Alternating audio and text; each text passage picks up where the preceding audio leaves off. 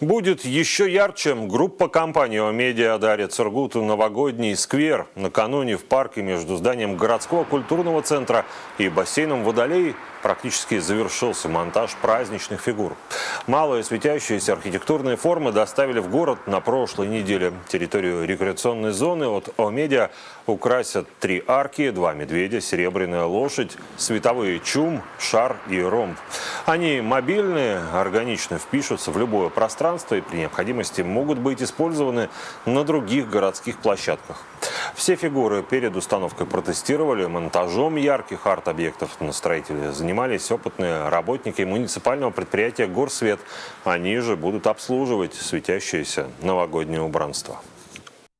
Данный сквер все-таки является одной из центральной а, артерий нашего города. Он собирает достаточно большое количество людей вокруг себя. Мы решили украсить этот сквер для того, чтобы каждый гражданин нашего города, ну и приезжие в том числе, ну и также те, кто живет в этом районе, смогли насладиться э, украшением именно новогодним и смог себе ощутить то маленькое чудо, которое происходит в конце каждого года. Благотворительный фонд «Траектория надежды» ну, во-первых, решила сделать такой подарок для города, достаточно комплексный, это несколько фигур. Мы совместно разработали схему возможной установки. Конечно, они достаточно мобильные, не стационарные, то есть мы можем также использовать и в других средовых участках на территории города, если появится такая необходимость. Пользуясь случаем, конечно, хочу выразить благодарность за такое э, социальное, скажем так, партнерство в вопросе оформления города. Ну и от лица, наверное, всех жителей поблагодарить за такой праздничный подарок. Впоследствии мы регулярно сможем эти фигуры использовать как раз для установки на этой локации. То есть это станет традицией.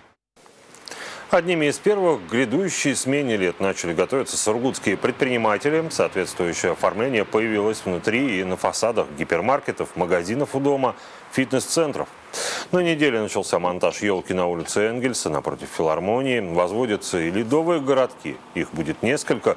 Вновь на центральной площади появятся традиционные лабиринты и горки, зальют каток, откроется тематическая ярмарка. Зимние аттракционы изо льда будут доступны на территории у Свято-Троицкого кафедрального собора на углу проспекта Мира и улицы Островского. Здесь также установят нарядную ель. До 15 декабря объекты должны быть смонтированы. Украшением города станет и зимняя иллюминация на крупных перекрестках, транспортных развязках, кольцевых автодорогах. Подробнее о том, как преобразится Сургут в преддверии смены лет, смотрите в эти выходные в программе «Новости. Главное».